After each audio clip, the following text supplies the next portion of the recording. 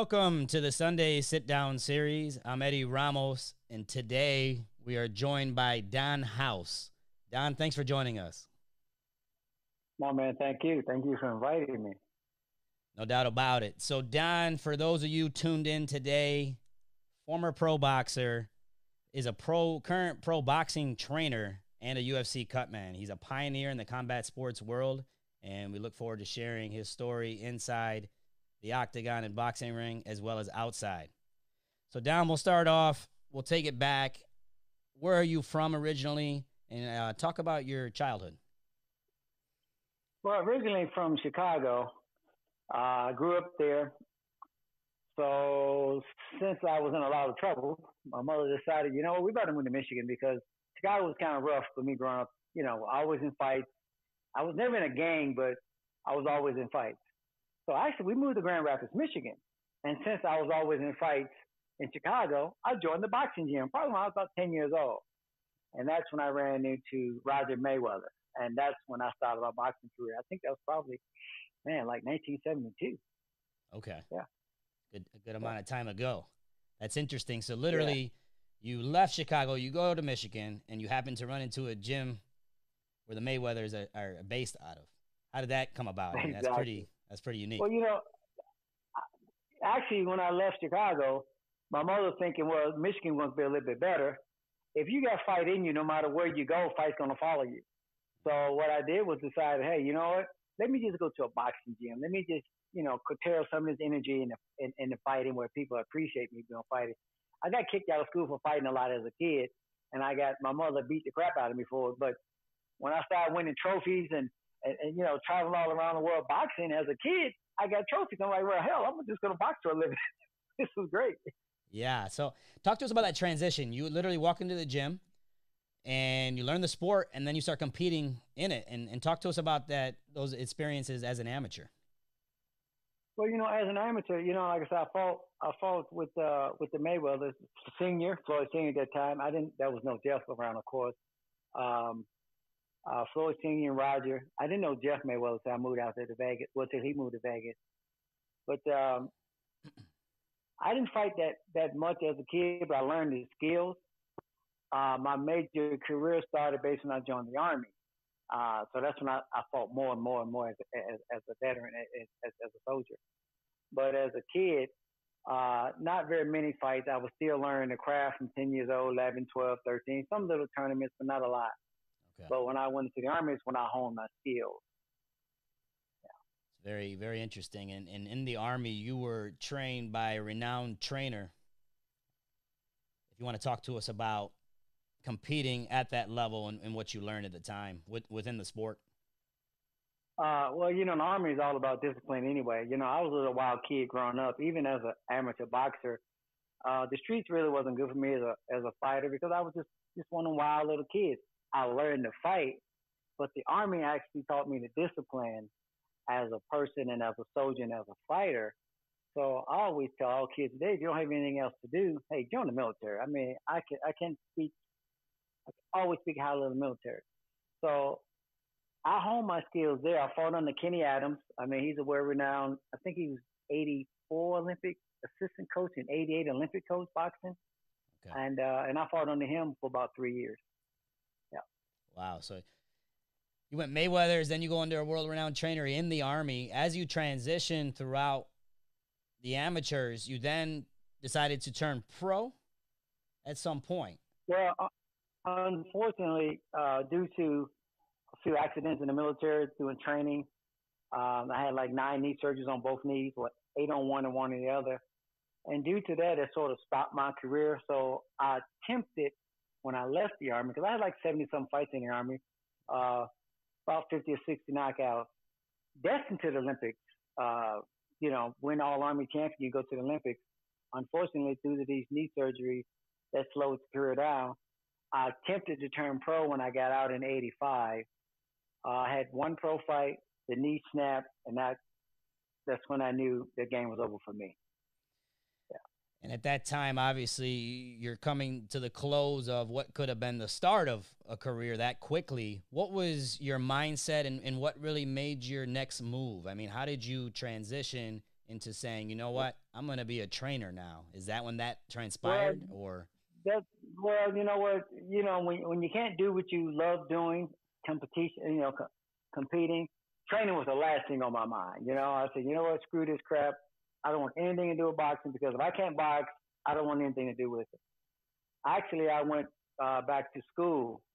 Um, uh, got a degree in engineering. I started working for a government contractor designing nuclear devices here. Out here in Nevada, we, we used to have what we call a test site where we actually blew up things. You know, some people call Area 51 where all the aliens. So there's a lot of areas out there we sort of designed nuclear devices and blew things up. And um, and one day I decided, you know, let me just go back to the gym and hit the bag a few times. And before I know it, I was giving advice to some youngsters, and I had an amateur team, probably about 25 little fighters, and then uh, picked up a couple pros, and that's where I sort of transitioned back into the boxing. Uh, it's not as fun as boxing, but you know what? I did find a great appreciation for the training because what I taught them, I started seeing where champions developed, and um, and that's basically how I got back into training. You know, just sort of haphazardly went back to the gym to train for myself. Very interesting how that those transitions in our lives and where they take us and how we end up in the positions right. that we are. Um, so as you go through that transition into the, becoming the trainer, um, initially it's starting to grow, it's starting to develop. You start working with world champions. I mean, talk to us about that in general. I mean, that's that's pretty impressive. You know, I think one of the first guys that came to me was Lightning Lonnie Smith. I don't know how far you go back, but he was a character from the day. And uh, I started working with him and uh, the surgeon. Yeah, but you know, the funny thing is, not only did it transition me as a trainer, uh, some of the some of the uniforms that back in the '90s that you saw here in Vegas, I made most of those uniforms. So I actually learned how to sew to make fight uniforms because I could never find what I like. So I would make me an outfit, and there was so many people. Hey man, I I gotta have that outfit. Where'd you get it? Well, I made it. You want one of these? And believe it or not, I was doing about three or four grand a week just making boxing outfits. Wow. Yeah, from Camacho to man, you name it, I was making outfits for everybody. Wow, that's interesting. Yeah. And um, you see so many now. I think Andre Rozier, trainer out of Brooklyn, uh, trains Danny Jacobs. I want to say he, he makes his own as well for his fighters. That's interesting. And I know uh, Gaethje's uh, trainer as well. He he makes products um, for combat sports in general. I've seen him do that. So. Well, you know, a lot of times when when we in the gym working, we design things because we need them. And sometimes when a manufacturer make things, they're not there with us. And sometimes we make things that we need particularly for what we want to use it for. When you make a general product and you throw it to the gym and, you know, everybody use it, but sometimes coaches need a particular device and the only way to get it, he has to make it himself. So, uh, and that was sort of like me. I started making the uniforms and, you know, for the things I like. But I think the question was name some of the fighters. Yeah, I mean, Diego Corrales, I worked with him. Uh, Frankie Lau, uh, Freddie Norwood, he was WBA featherweight champion. Vince Phillips was the IBF, uh, what was he, junior welterweight champion. Wow. Uh, oh man, okay. I know I forget half of them. They gonna be like, you didn't say my name, Kevin Kelly. yeah, that's a uh, name for sure. Uh, uh, uh, Kit Diamond at the time, he was on the rise, but uh, things happened with him. Uh, Stephen Uwevano. Uh, come on, I know I had to. Come on, it was more. Derrick Harmon, we fought Roy Jones, and he's wow. in the champion. Of course, you know Stiverne, he was the heavyweight champion. Yep. Uh, uh, man, it's so Long many. List. And I know when I, I know when we hang this thing up, he's go, oh, I forgot about him and that one and that one. yeah. So many. So, in, in training yeah. these guys, and, and you're working with them Talk to us about your experiences traveling the world. I mean, I'm pretty sure you ended up in some places that you said, "Wow." Some people in their lifetime you know, never the funny, even. The funny thing about life, and you, like you say, like you say, the fun thing about life is, like you said earlier, is, is amazing where we end up and how things sort of transition in our lives. When I left the army, I think one of my my my, uh, my soldier friends said to me, "So what are you gonna do now?" I said, "Well, you know, I think I'm gonna just find a job that's going to allow me to travel the world and have fun and do it and get paid. He said, wow, when that happens, call me. And one day I was in Australia thinking like, hey, you know what? I manifested this. A lot of times you don't know how the manifestation is going to end up. Right. You just go with it. It might end up that you're a pilot flying the world or you're a trainer or you're a boat captain. Just go. And you know, even even the Bible says, just let God. That's what you let, let God do the work, and you just follow along. And that's what I did. I just let God do the work. So a lot of times people, oh man, you know, your house, you this, you got the grace. Look, I just go through life and enjoy every aspect of it. And I try to treat everybody along the path as the way I like to be treated. And that's sort of why I'm blessed. I, I can attest to that in, in working with you in the UFC events. Um, someone that I've known and seen on TV for years, and, and what you see is what you get, and that's not always the case, especially in the fight game. So uh, I want to commend you for well, that, and uh, as you're my friend, um, and I always appreciated the conversations. There's a lot to learn from someone with your vast experience, um, so I truly do appreciate that. Um, if you want to talk to us about going back to going to school and out after the military, you end up essentially working you transition to the combat sports world talk to us about that transition and how you basically being a pioneer in the UFC and, and creating the gloves. I mean, that's that's big well, time, man. Exactly. Talk to us about that.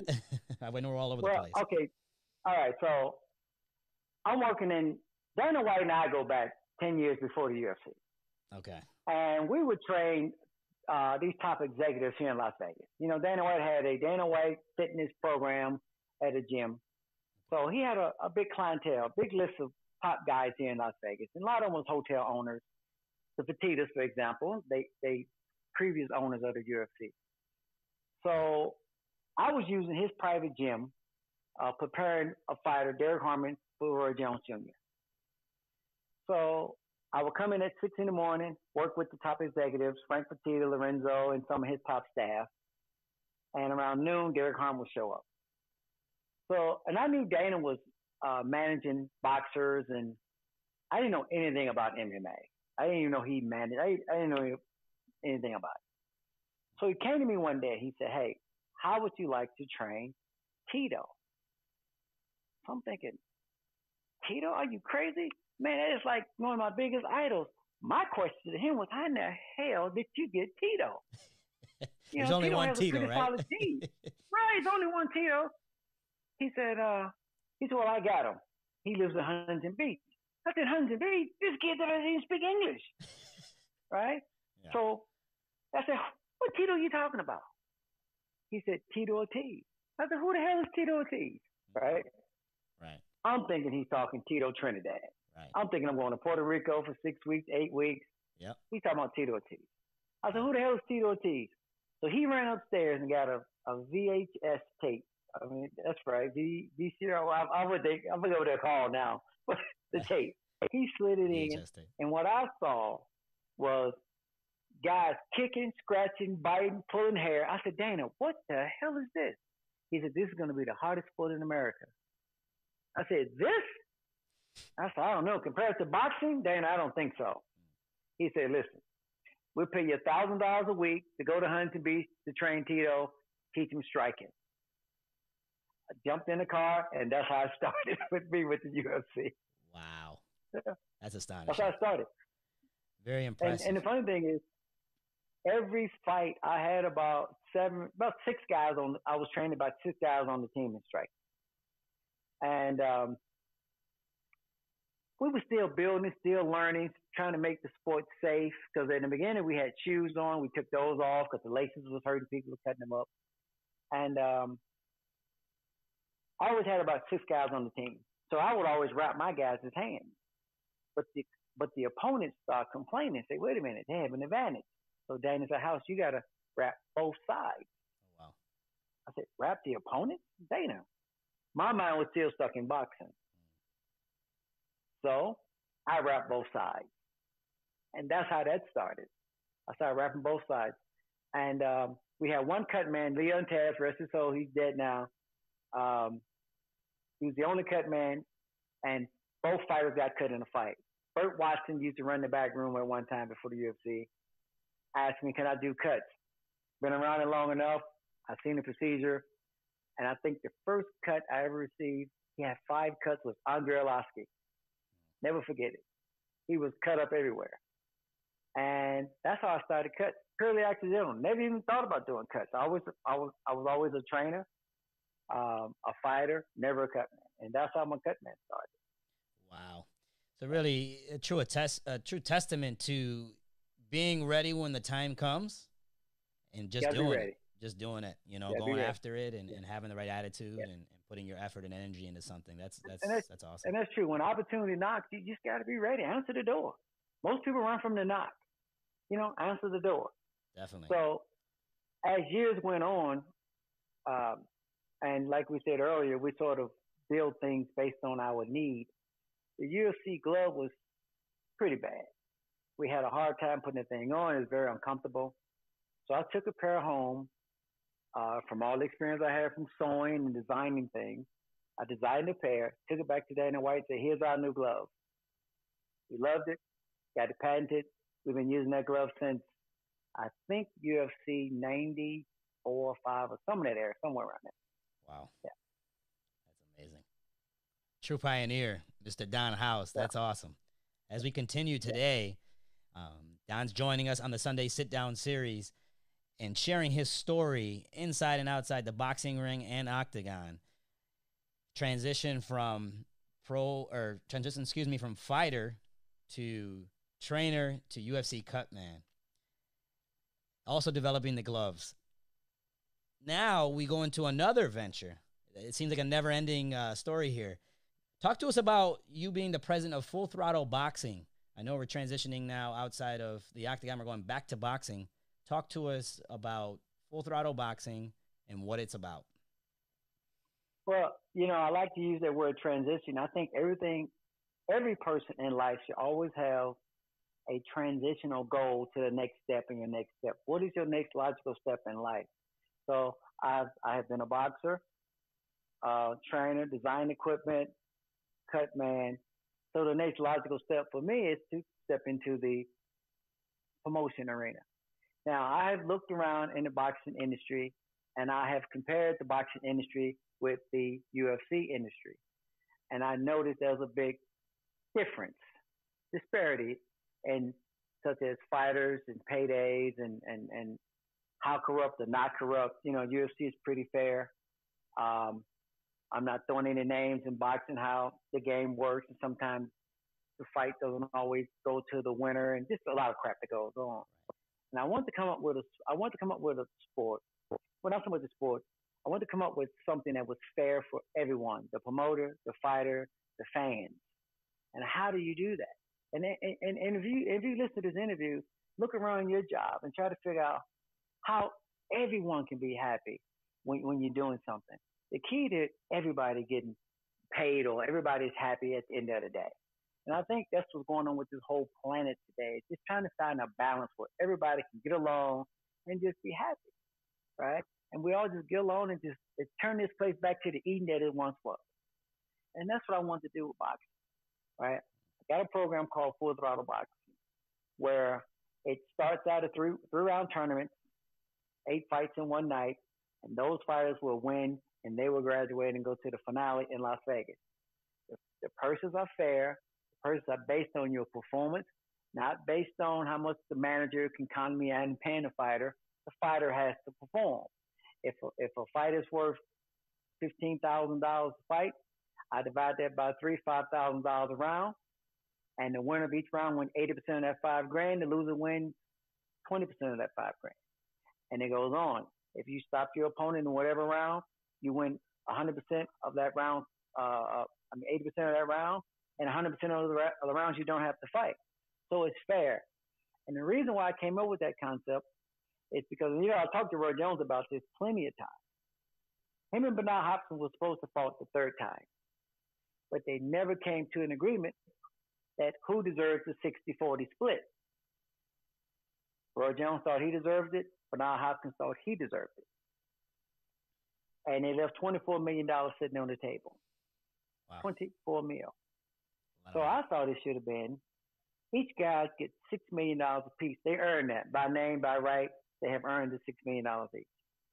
And why don't we divide up that $12 million to a million dollars around 80 20 split? Now, what type of fight do you think you're going to get at 80 20 split per round? and the knockout gets the rest of the money. Definitely a uh, big incentive. The, the fight determines who wins. The fight determines who deserves who, who deserves the big portion of the fight. Like Not what I did before.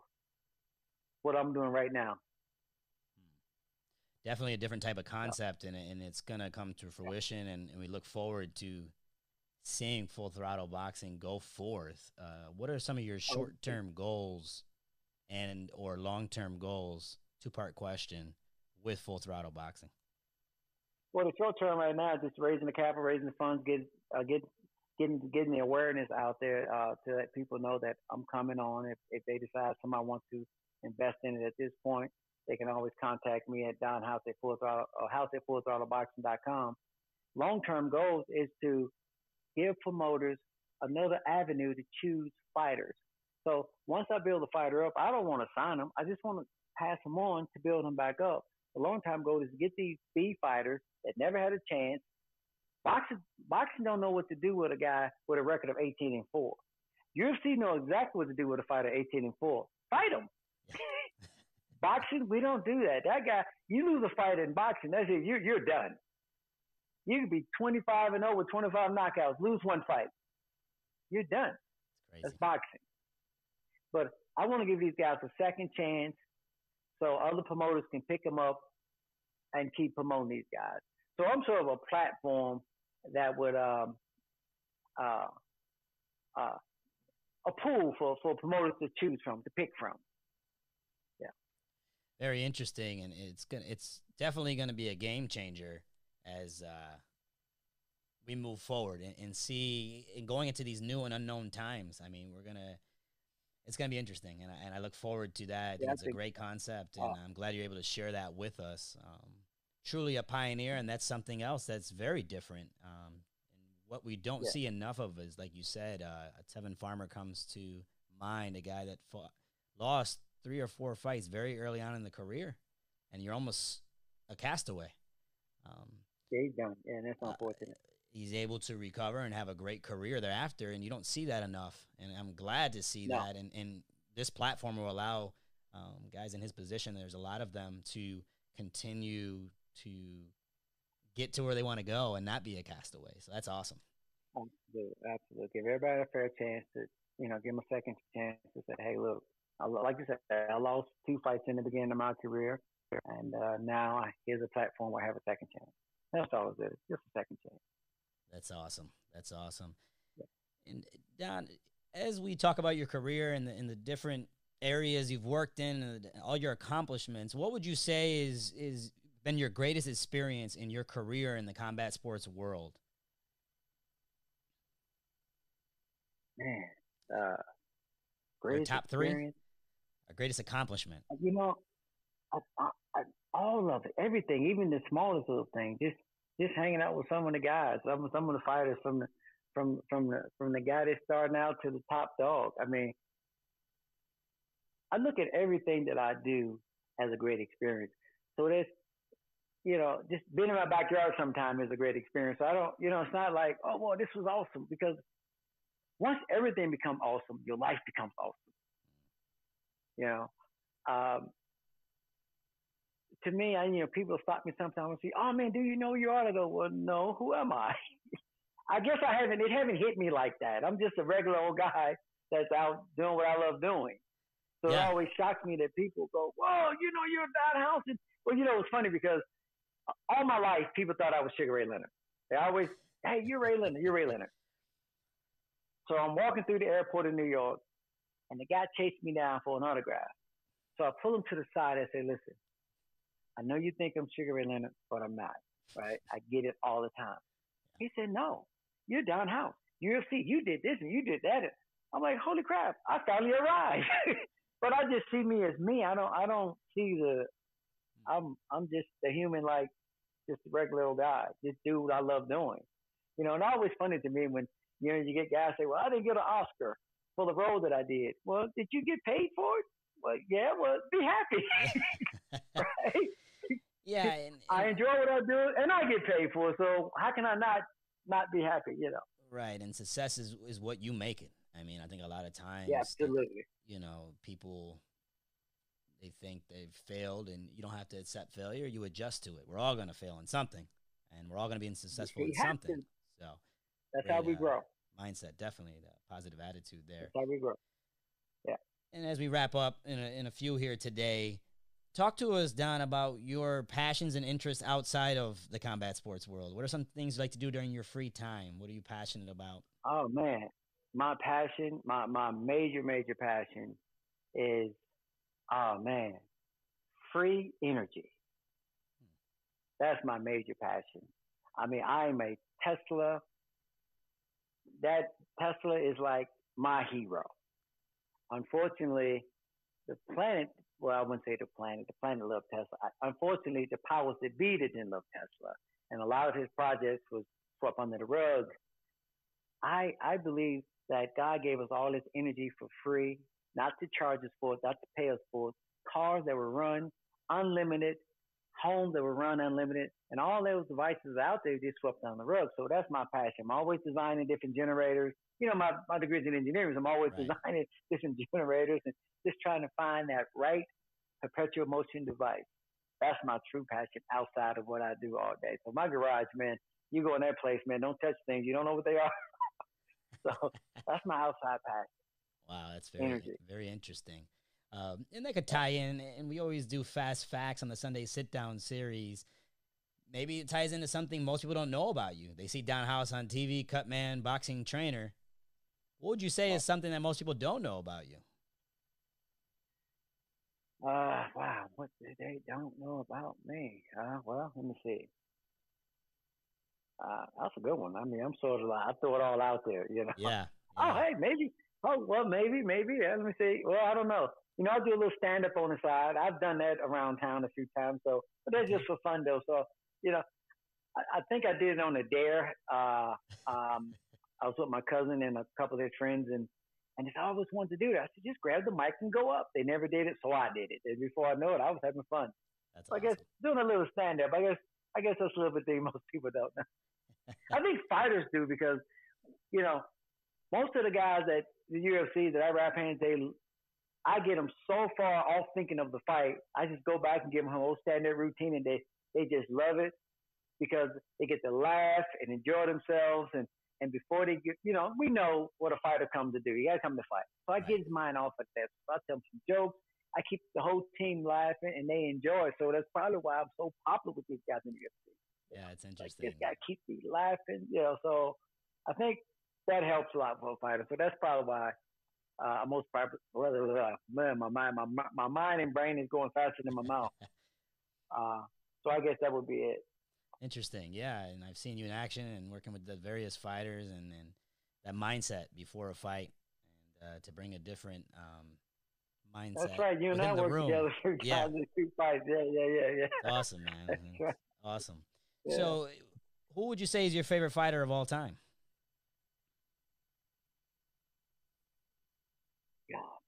Fighter of all time. Give me a top three if you want. That makes it a little easier. you know, I'm the I'm the guy that I like the underdog guys. I like the guys. You know, we all like the the Leonards and the Robinsons and then you know all the we we like all those top guys. Right. But I'm I'm an underdog type of guy. You know, e- okay, if I if I go to MMA, uh, one of my favorite fighters in MMA is believe it or not is actually Don Cerrone. I mean, he comes to fight guys like him. Uh, uh, what's the guy out of Illinois with the crazy hair? Um, he's gonna kill me now because I can't remember his name. I'm trying to Um. Clay Guida, guys like Oh, that. I love yeah. those guys. You know what Yeah. I mean? Don Cerrone, Clay Guida, those guys come to fight, win or lose, Yeah. they come to fight. Now you know we're gonna love the guys like uh, all the top guys, Silvers and those guys. You know they fight well and and the Right. fans get behind them. I just like the under, I just like the underdogs and the bulldogs. Hence, probably why I'm attracted to doing Throttle. 'cause I want all, underdogs to raise up. Yeah, But I'm an underdog guy. You know, I'm not I'm not the mainstream media. Hey, this is Ray Leonard. This is you know Ali. You know, those, those guys getting what they get. I'm like I like the underdog. You know, I like that. I like that. Very interesting. Uh, Smiley Sam comes to mind. A guy that's been around for a long time. Able to work with him in Jacksonville, um, UFC 249 there, and the kind of guy that's under the radar, and uh, we know him because of his personality. But a gamer, man. There's, a, guy like Clay Guida, Yeah. like you said, those guys are gamer. They Oh. come to fight. Come to fight, win or lose. And come you know. I, I want as we continue to expand on the combat sports side with your experience, I, I didn't really chime in too much on as you train going back earlier with Tito, a guy like that, and really, what did you learn from those experiences going back and forth between boxing and MMA? What would you say is the biggest thing you learned Well- between kind of hopping back and forth between both, you know, sports? Well, I, the funny thing, one thing I did notice, there's two different breed of individuals. Uh, when I first got into MMA, I was I was working with Tito. Well, actually, team punishment, not just Tito himself. I mean, the whole damn team punishment. I was teaching my whole striking, and I noticed those guys got along. They would work and train each other, and then fight each other Saturday night, beat the crap out of each other, and they get along. Boxers don't do that. Boxers don't want to be in the same state with their opponent until fight night. You know, I'm like, wait a minute, this is a different breed of characters. These guys actually, it, it's changed a little bit now. I mean, you know, I think The the barking at each other now sells Right. more tickets. But in that beginning, they all got along. They all trained together. They worked together. They all gave each other advice, and they fought each other. Boxers never did that. That was the one thing. No, I don't want you to see me train. I don't want you to watch my videos. I don't. You know, I was boxers. It was a different, different class of people. Yeah, it's very interesting. Uh, I was curious as far as the dynamic between the two, and, and obviously you have vast experience in both, so it's very interesting. And I, and I can, I think even now you see guys if someone beats the other guy in MMA, may go train with them. I don't think you're going to see that in boxing. So I definitely No, can see the correlation. No, very, very seldom you would see that. You know, you would see that. Very seldom. Very seldom. Yeah. I mean, I did get a call from, uh, uh, I did get a call from Wilder's team, but we'll see how that works out. You know, since he actually beat my guy twice, but so they kind of gave me a call. We'll see how that works out. That's kind of where I left that. So we'll see where it works out. interesting. Yeah, it's uh, you got that bass background, man. I'm looking forward. If if you were in the corner with him, that Yeah. would be uh, interesting. And you also Yeah, work, you. you work with Caleb Plant as well. Currently, Oh, see, there you go. That's another one. You're right. That's another one. Great guy. This guy has a lot of tools. I love that guy. He's probably one of the hardest. I've seen three of the hardest workout guys on the planet: Floyd Wow. Mayweather Jr., Roy Jones, and Caleb Plant. wow. These guys work out like there's no tomorrow. I'm sure there's more, but my experience from what I've seen. That's high praise for sure. This guy works out like a machine. He works like a machine. And I told him, I said, I already found his opponent that's going to beat him. He's that little nine year old kid right now that's aspiring to be a middleweight champion. I said, until that kid grows up, Caleb, you're going to run the division. He works. wow. this kid respects the sport. He respects his family. He's a good hearted kid. I can't say any, I can't say anything great about bad about this kid. This kid does everything the right way. He works hard. Impressive. Uh, Don, you're all over the place, man. And I might have to write a book Yeah. one day. I think we're going to get there. Yeah, so- I said, I forgot about Caleb Plant. I just sorry, so Caleb, many. but it's so, it's so many. right. Wow. So as we wrap up, what would you share with the youth or anybody interested in combat sports, whether it's MMA, whether it's boxing? What's your message to them? Well, my message is whatever you're interested in, I don't care what it is. If it's if it's basket weaving, we used always say out here at the university, I went to university. If it's basket weaving, be the best. Come from your heart. There's more brain cells in your heart than there is in your brain. You know, you know people say, Well, which shoe looks better on me? This one or that one? Your heart already knows. Follow your heart. Once you follow your heart, you cannot go wrong. I don't care what it is. Success is success. It might not be LeBron James' success or um, some other top ranked singer or dancer. Everybody has a certain amount of success, and success is success no matter what it looks like. If you enjoy what you're doing, and and, and if it's about the money, it's going to show up anyway. Don't worry about the money. Do things from the heart. Once you do it from the heart, the money shows up anyway. Wow, powerful stuff. Don House, thank you so much for joining us today on the Sunday Sit Down series. I'm Eddie Ramos. It's a pleasure to hear your story you. inside, outside the octagon, outside, inside the boxing ring. We truly appreciate your Thank time. you. Thank you for joining us, Don. And trust me, Eddie, it was a great, it was always great working with you. Um, I'm, I whisper in Dana's ear, we got to get back to Florida. Uh, Florida's great. Dana, we got to get back there as much as we can. Great weather, great food, great people. Um, I'm, I'm glad you and I had a chance to meet and work together. Uh, call me anytime you want, man, for anything. I'm here. So It's truly an the honor. door's open. Truly an honor to call you my friend and, and work alongside you and learn as well. So thank you so much, Don. I appreciate that. Thank you. All right. Take care. Bye bye.